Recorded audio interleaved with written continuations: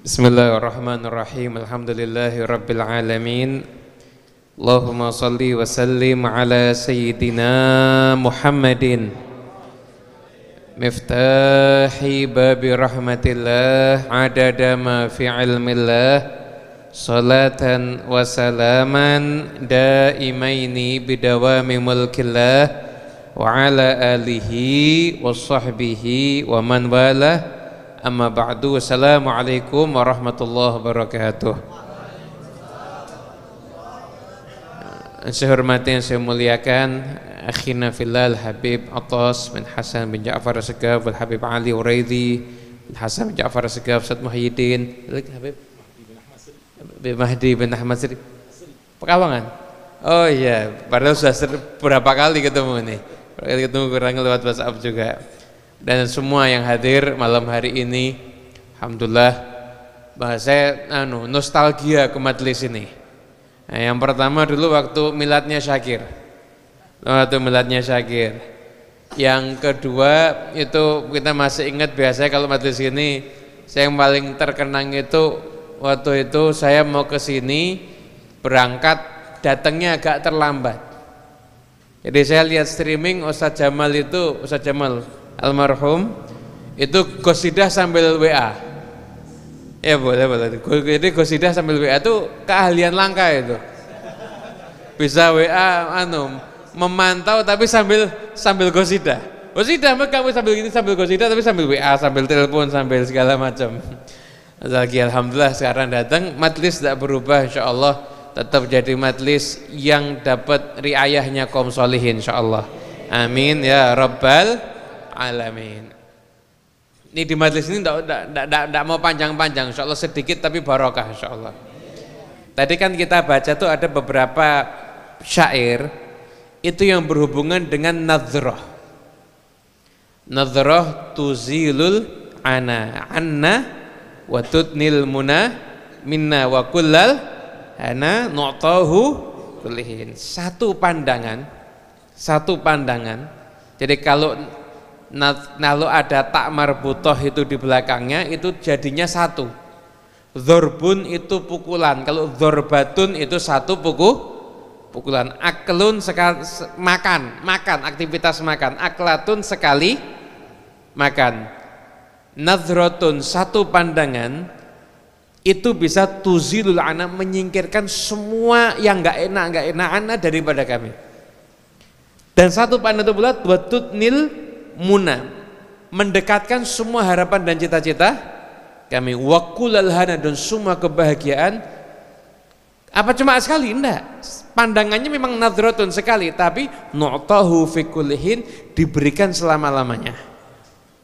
Diberikan selama lamanya makanya ada satu pandangan-pandangan istimewa itu yang namanya pandangannya Allah nadrah minallah nadrah minar rasul nadrah min illah itu itu kadang-kadang bisa merubah orang itu berubah bukan cuma pandangannya sekali berubahnya itu bisa seumur hidup sepanjang masa. Berubah dari syakawah menjadi sa'adah. Dari yang syaqi bisa menjadi sa'id. Itu karena satu pan dengan masyayihil khadra asalana nadrah nadrah minta minta panda pandangan. Jadi gini Loh, cuma pandangan kok bisa sedahsyat itu gini. Habib Abdullah bin Muhsin Al-Attas dalam majmuk kalamnya itu yang yang yang dikumpulkan sama Habib Hasan yang beliau pernah Habib ngasih ke saya di situ juga ada. Kata beliau pandangan itu memang bisa mendatangkan suatu efek. Dalam syariat itu Nabi SAW pernah menyampaikan hadis begini. Kalau ada sesuatu yang lebih cepat datangnya daripada takdir seandainya ada yang bisa mengalahkan ta cepatnya takdir maka sesuatu adalah ain. Kalau ada sesuatu yang bisa mengalahkan cepatnya takdir maka itu adalah ain. Artinya apa?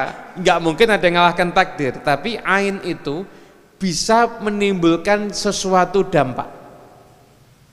Ain itu adalah pandangan mata yang berbarengan dengan takdirnya Allah. Pandangan mata yang berbarengan dengan takdirnya Allah. Nah, Di zaman Rasulullah SAW itu pernah terjadi. Ada orang dia mungkin mandi sama teman-temannya dulu orang tuh kalau mandi tetap aurat tertutup ya. Jangan dibayangkan mandi kayak kita sendiri di kamar mandi nggak gitu.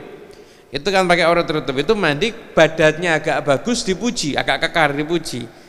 Maka ketika itu yang dapat pujian itu langsung kemudian tergeletak seperti orang pingsan. Dan itu terjadi di zaman Rasulullah SAW.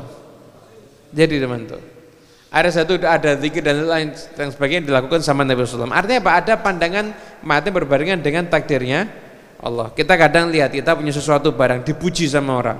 Nggak lama barang itu kena sesuatu. Pakai baju dipuji. Wah bajunya keren. Nggak lama bajunya ketumpahan kopi mobil. Misalkan wah mobilnya kok bagus nih bisa dicuci rapi keserempet. Anak kecil dipuji sama tamu dan lucunya lucunya jatuh dari kasur. Jadi kadang-kadang ada pandangan mata yang berbarengan dengan takdirnya Allah. Itu namanya kena ain. Ada ain itu sering kali karena pandangan kagum atau bisa jadi karena pandangan kedengkian. Kedeng kedengkian makanya eh, guru-guru uh, kita mengajarkan suami istri itu mesra hukumnya wah, wajib. Tapi jangan sembarangan memamerkan kemesraan di depan uh, umum. Kenapa? Kalau kena ain bahaya nanti. Kalau kena ain nanti bahaya bahaya. Bisa hilang mesra-mesranya sampai surat nikahnya mungkin. Walayadzubillah min ada namanya katanya Habib Abdullah bin Muhsin nadratul ain pandangannya orang yang ain itu tankul minal khair ila syar bisa merubah dari kebaikan menuju keburukan. Maka pandangannya orang-orang soleh tankul minasyar ilal khair. Merubah dari keburukan menuju kebaikan itu pandangannya orang orang soleh makanya dulu makanya dulu di antara tarbiyahnya aslafun soleh itu kadang-kadang Nabi Abu Bakar bin Muhammad Segaf Gersi itu ngajari kau kalau punya anak ajak ke majelis yang di situ ada orang banyak orang solehnya anakmu suruh duduk. Ndak faham ceramahnya ndak apa-apa. Ndak ngerti kosidahnya ndak apa-apa. Nggak ngerti ini mau ngapain ndak apa-apa.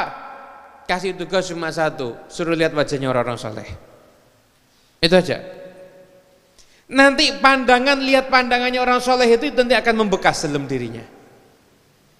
Habib Abdullah bin Alawil Haddad, beliau ketika kecil datang majelisnya Syekh Abu Bakar bin Salim. Maka kenapa biasa staff itu kadang duduknya di tempat yang agak tinggi gini? Kenapa? Karena biar semua bisa lihat. Biar semua bisa lihat. Semua bisa lihat. Nah, itu lihat Syekh Bakar bin Salim kata Abdullah Haddad, saya lihat Syekh Bakar bin Salim sekali itu efeknya saya rasakan sampai 40 tahun. Sampai 40 tahun. Itu orang-orang soleh itu pandangan itu punya nih punya nilai. Dulu kalau ada seorang sahabat saya kok lagi mas ibadah? Lihat wajahnya Muhammad bin Wasi langsung semangat ibadah. Orang dulu kalau lihat wajahnya Habib Adrus bin Umar Habsyi Syahibul Ghurfah gurunya Habib Ali Habsyi gurunya Ahmad bin Hasan Latos itu lihat wajahnya langsung semangat ibadah. Jadi pandangan itu punya nih punya nilai gitu nah itu dulu uh, tentang pandangan ini juga ada dalam hadisnya Nabi Muhammad SAW. Nah, ini jadi kan orang zaman sekarang kan kalau diceritain ceritanya wali nggak percaya, bilang halu, bilang khurafat. Ini hadisnya Nabi ada. Itu pernah dalam satu peperangan kaum muslimin mau menang tidak bisa menang, nggak bisa menang, nggak nembus-nembus pertahanannya musuh. Akhirnya pimpinan pasukannya akan bertanya, apa pertanyaannya? hal fikum man ra'a Rasulullah SAW Apakah ada di antara kalian yang pernah memandang Rasulullah SAW? Maka betul saya pernah. Langsung orang itu dimuliakan, diagungkan, dimintai pendapatnya. Setelah itu apa? Menang. Pasukannya yaitu senjatanya yaitu nggak ada teman musuhnya juga sama nggak berubah nggak jadi musuh terus jadi anak TK nggak juga musuhnya yaitu kenapa kok pasukan ini berubah berubah kenapa karena dapat barokahnya pandangan Nah, dapat barokahnya pandangan. Di antara mereka ada orang yang memandang Rasulullah SAW. Maka orang ini dimuliakan berkahnya pandangan pada Rasulullah SAW, maka itu menjadikan pasukan itu mendapatkan kemenangan. Nanti ini Nabi cerita tapi untuk Nabi menceritakan generasi yang akan datang. Jadi Nabi SAW menceritakan generasi yang akan datang, masa depan diceritakan teman Nabi. Nanti setelah masa itu berlalu, pasukan kaum perang lagi, nggak nembus-nembus lagi. Mungkin komandannya juga udah ganti mungkin bukan orang yang sama. Tapi mereka teringat hari mereka tanya, hal fikum man ro'a man ro'a Rasulullah SAW. Ada nggak di antara kalian orang yang pernah lihat orang yang lihat Rasulullah SAW? Ada pernah lihat apa enggak? Maka ada pernah orang itu dipanggil, dimuliakan, dihormati, dimintai pendapatnya. Apa yang terjadi setelah itu? Menang mereka. Kenapa? Karena pandangan itu ternyata juga sah, ada sanatnya. Bakat man qad ra'ahum au ra'a man ra'ahum. Maka beruntung orang yang memandang mereka orang-orang soleh atau memandang orang yang memandang mereka mereka. Kenapa? Sambungan pandangan itu bisa masuk ke dalam ha dalam hati. Dulu dulu dulu saya saya pernah waktu belajar tentang ain belajar tentang ain tentang ain itu saya waktu itu dijelaskan sama abah saya. Habib Husin bin Anis beliau, beliau menjelaskan pada saya. Beliau bilang kalau kau mau melogika urusan ain itu gini ada acara nonton bareng final Piala Dunia. Nonton bareng final Piala Dunia. Nonton bareng final Piala Dunia di acara itu orang lagi husuk-husuknya sudah menit ke 90 ketika itu ada penal penalti. Nggak lama ada satu orang yang berdiri nendang kabel nggak sengaja nendang kabel. Itu kira-kira pandangan 100 orang ke siapa? Ke orang yang nendang kabel kan? Itu kan begitu dia dipandang seperti langsung kan kayak duk kayak dipukul gitu kan? Nah itu ain itu seperti itu itu 100 orang itu supaya nanti pandangannya kan akan menghujam ke dia maka seperti hati seperti ada sesuatu yang nabrak dia. Seperti, tapi tidak ada nabrak. Seperti ada yang nabrak di dia. Itu loh penjelasannya Ain seperti itu. Gitu. Cuma jangan dicoba ya. Nanti nonton bareng coba saya lihat mau saya tendang kabelnya. Karena kalau temennya itu uh, sabar cuma li lihat. Tapi kalau temennya itu ada Khalil nggak tahu bisa ngelempar mungkin dia. Kalau temennya sabar itu cuma lihat Khalil nggak tahu meja melayang, gelas melayang. Mungkin teman yang kecil di dekatnya juga dilemparkan juga itu.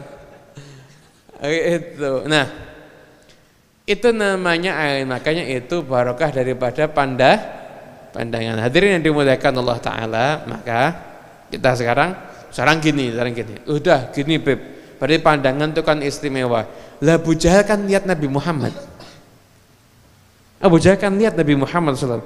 Kok Abu Jahal kok nggak dapat keistimewaan itu? Dijelaskan sama para ulama. Kenapa Abu Bakar As-Siddiq jadi orang yang mulia? Abu Jahal kok nggak jadi orang yang mulia?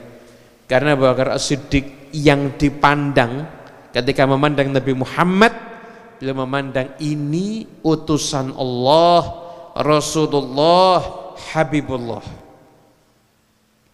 Abu Jahal memandang Nabi Muhammad anak yatim dirawat sama Abu Talib. Yang dipandang sama tapi ketika memandang berbeda maka dampaknya pun juga ber, berbeda. Orang itu maaf katakan orang itu orang itu duduk sama wali bahkan makomnya aktab sudah. Walinya kutub jadi raja yang wali sedunia cuma satu yaitu dia. Orang duduk bareng tapi nganggap ini orang biasa nggak dapat apa-apa Gak dapat apa-apa. Maksudnya ya mungkin dapat berkah insya Allah dapat, tapi tidak dapat sesuatu yang istimewa. Istimewa. Kenapa? Karena tadi tidak ada husnu husnudzon. Ada tidak ada husnudzon. Kenapa kok banyak orang ziarah wali tapi pulang nggak dapat berkah dari wali. Kenapa? Karena ketika ziarah wali sama sombong. Oh, saya loh ini jamaah saya banyak, pengikut saya banyak. Oh, saya tuh orang mulia ziarah wali sama bawa ke sombong nggak dapat apa-apa. Anak kalau datang bawa gelas, gelas anak sudah full, datang ke hayu beb, tolong diisi beb. Beb atas ketawain, gelas ente full, kok minta ke anak tapi kalau anak datang bawa gelas gelasnya kok kosong diisi ente kalau datang ke tempatnya ente ziarah ke makam wali ziarah ke Habib Husin luar Batang ziarah ke Keramat Empang ziarah ke Habib Ali bin Abdul Rahman Al-Habsyi ziarah ke para ulia di mana pun juga. Ente datang itu ente kosongin diri ente. Ente fakir nggak punya ilmu nggak punya apa-apa nggak punya amal. Duduk deket wali nggak usah lama-lama. Nggak usah yasin nggak usah tahlil. Fatihah ayat kursi kululahat sebelas kali mu'awidatin kalau berbinas cukup ente pulang berkahnya dapat ente penuh kesombongan duduk depan wali ente baca yasin ente baca waqiah ente baca tabarak pahala dapat insya Allah tapi berkahnya lebih istimewa yang tadi lebih istimewa yang tadi kenapa karena ngosongin pandanya Penutup, penutup, penutup. Gak usah lama-lama, gak usah lama-lama. Saya tuh punya prinsip lebih baik ditunggu kapan ceramah lagi daripada ditunggu kapan selesai ceramahnya. Nah, gini. Dulu itu ada di di kalam Habib Ali Al-Habsyi atau Habib Ahmad bin Hadi, saya saya lupa. Pokoknya saya cerita ini maktub ada di kalamnya salaf. Dulu pernah, dulu pernah ada seorang preman. Ada seorang preman preman ini suatu ketika dia jalan lewat depan rumahnya ulama lewat depan rumahnya ulama ketika dia lewat depan rumahnya ulama dia mikir saya ini orang banyak dosa. Sini dari ujung kepala sampai ujung kaki isinya do, dosa. Ini yang di dalam rumah ini orang soleh ujung kepala sampai ujung kaki isinya toh toat. Ya Allah walaupun saya banyak dosa tapi tidak apa-apa dah. Saya lihat orang yang sekujur tubuhnya penuh dengan toat siapa tahu setelah ini saya mendapatkan keberkahannya karena lihat orang itu. Saya saya zat penuh dosa lihat zat penuh taat. Masa nggak ada berkahnya sih? Insya Allah tetap ada berkahnya. Akhirnya orang ini naik ke atas. Ini orang soleh pas ada majlis mau ngajar, naik ke atas. Ini majlis ini coba kita datang orang datang majlis ini karena cuma datang duduk depan langsung pulang lagi kita anggap orang gila ini. Ini wali ini mau ngajar, dia sudah duduk, yang tamunya yang preman tadi cuma datang gini. Lihat. Ujung kepala sampai ujung kaki. Selesai itu. Keluar lagi. Lah ada murid dari jauh kelihatan. Uh, ada orang baru nih, santri baru nih kayaknya. Ini harus pakai uang registrasi ini. Baru turun, baru nih udah turun lagi. Tanya, eh kok nggak ikut taklim? Enggak. Ngapain ke atas? Ya saya kan orang penuh dosa. Itu yang di situ tuh orang penuh taat. Lazat yang penuh dosa, pengen lihat dat yang penuh taat biar dapat berkahnya. Oh gitu. Ya udah, mau ke mana? Pulang. Ya udah, pulang aja murid yang resmi naik murid yang resmi naik kelihatan orang tadi kelihatan? Kenapa dia? Ya dia katanya penuh dosa. Terus pengen lihat guru guru yang penuh taat. Ya cuma itu katanya. Dia bilang gitu. Iya. Betul bilang gitu. Betul. Tolong kamu kejar sekarang. Lo sekarang kamu? Kamu kejar. Saya ini ada isyarat saya akan meninggal duh dunia, saya pengen pengganti saya dia. Saya pengen penggantinya saya dia. Nah, akhirnya namanya murid. Turun tangga lagi kejar. Kejar itu bawa masuk turunnya. Kamu duduk di sini kasih makan. Kamu belajar diajari lama nggak lama gurunya meninggal penggantinya dia. Penggantinya di dia. Orang kan kadang-kadang tidak percaya. Orang ini kadang-kadang zaman sekarang ini Memang repot kita nih kalau cerita ilmunya para wali itu nggak boleh yang tinggi-tinggi. Nah, karena masyarakatnya akalnya susah diajak tinggi-tinggi. Jadi kalau cerita Superman asik, cerita Batman asik, cerita apa lagi? Deadpool asik, Wolverine asik, mati macam-macam asik. Superman celana dalam dibalik asik. Ya kan kan harusnya orang celana dalam dulu baru pakai ini kan enggak celana dulu baru pakai celana dalam asik. Kenapa bisa terbang katanya? Ah. HP itu, HP itu. Saya punya HP. HP saya Bluetooth nyala. HP-nya Syakir Bluetooth juga nyala. Sekarang udah canggih ya, sekarang ada quick share. Quick share, nyala, sama-samanya nyala. Ngirim data bisa enggak? Ngirim video bisa, ngirim kitab bisa. Saya pernah ngirim 100 sekian kitab pakai quick share itu hanya hitungan detik. Hitungan deh detik. Mohon maaf, kalau ilmunya orang kafir bisa sehebat itu, Anda kira ilmunya para wali kalah? Wali itu bisa mentransfer ilmunya, bisa mentransfer makom yang dia miliki kepada orang yang dia kehendaki dengan catatan bluetoothnya sama-sama nyala. Bututnya sama-sama nyala. Kita nih udah datangnya udah, wali udah nyalakan bututnya. Kita yang bututnya belum nyala. Butut kita ini yang belum belum nyala. Belum nyala karena apa? Wallahu a'lam macam-macam. Ngomongin orang masih suka. Bener apa bener? Grup WA isinya ngomongin orang. Grup WA ngegosip. Lihat medsos dikit-dikit kelihatan bareng perempuan di jalan mall. Lihatnya juga banyak kita lihat para memang repot. Saya juga kadang-kadang ya ke mall juga.